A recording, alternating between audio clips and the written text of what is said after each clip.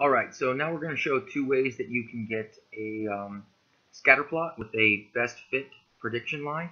So there are two ways that we can do this type of graph. We're going to the first one through the regression function in data analysis. So regression, okay. You notice that all the things are the same. We have labels here. We've selected our first row all the way through so that we have the first row as labels. We check that box. Okay, we want to click this one, line fit plots. This is going to give us um, the best fit line as part of our data. So again, it's going to go to a new sheet, hit OK. Here you go. So here's our line fit plot. Now we can make this look a lot nicer than it does right now. Uh, the first thing I would do is format this data series. So format the data series, I would take away these markers. Normally you don't want to see the predicted points, you just want to see the predicted line.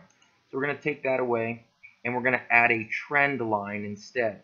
Okay, so we're going to do a linear trend line and I'm going to make it a little thicker so it's easier to see. And so now we can take away this predicted symptoms piece in the table, in the graphs uh, legend. And so here we have the symptoms that were actually observed for people and the linear prediction. And really, you could take away this entire thing if you want and just see the plot because you see that we have the variable names on the axes as appropriate. Um, and so you could, you know, retitle this if you want to. Um, something like the relationship between stress and symptoms. Okay, um, and so here we have scatter plot, all the individual data points graph, and a best fit line. And there you go. And you could do this by selecting your data. Okay, and go to Insert, Scatter. Okay, I'm going to select that first type. So here's a very simple scatter plot that you can get. Um, notice it doesn't have axis titles. There are several forms you can select from up here. This one will add a trend line, right? Um, there's also one that will give you the linear regression function. So here's the equation.